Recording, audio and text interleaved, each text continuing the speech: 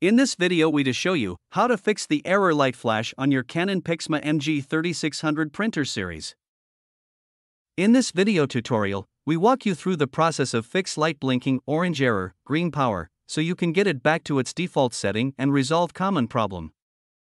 Now, if we go to the printer display panel, we can see there is a error light flashing also the power light is flashing, so that means there is error in the printer device.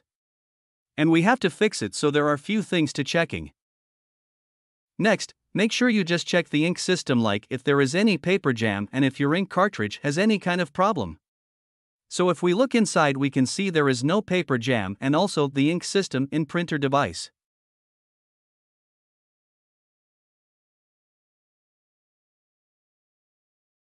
You can see the ink cartridge system in the Canon printer, we will reinstall it to take it out, and slide it in and close the lock, take out the black one, slide it back and close.